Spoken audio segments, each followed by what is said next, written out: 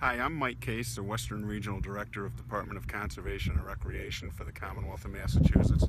And we're here on the top of Massachusetts at the Greylock War Memorial. Uh, reconstruction is just beginning. You can see the, the beginning of the uh, scaffolding that's going up. When it's completed, and it will be able to withstand 90 mile an hour sustained winds.